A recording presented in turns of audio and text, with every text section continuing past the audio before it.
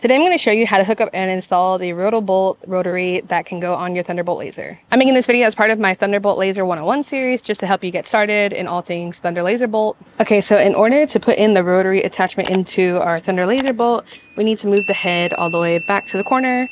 I don't really have to do it like fully to the corner. I just try to get it as far out of the way as possible. And so we're just using the movement keys on the control panel here on the laser. And then we're gonna lower the crumb tray all the way to the bottom. And it's actually deeper than you think because it takes a while to get down there. The Rotobolt rotary and just place it in the crumb tray here. So I like to butt it up against the left side to give it as much space as possible. And then I like to take the excess cord and I just kind of tuck it up into the front here.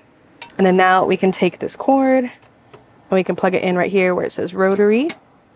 And then I just kind of tuck tuck the excess of that cord underneath the motor there. So then you can set your cup in there and then we can move the tool head now.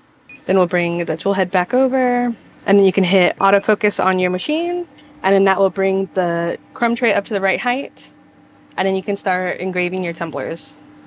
And so now this is all set up and you're ready to go and use the rotor Rotobolt. The Rotobolt rotary is a beast compared when you pair it up with the bolt and it's really great. And you can just get some really nice engravings out of this duo. Make sure you're watching the other videos on my channel if you want to see how to actually engrave tumblers and just other projects using the Thunderbolts. And I'll be happy to help you if you have any questions. Well, you guys, thank you so much for watching this video. I hope it helped. And uh, if you have any questions, feel free to leave them down below and I'll get back to you and help you as much as possible. And let me know if there's something specific you want to see in this 101 series having to do with the laser and I'll be more than happy to add it to that playlist. Thank you so much for watching, guys, and I'll catch you on the next one. See ya!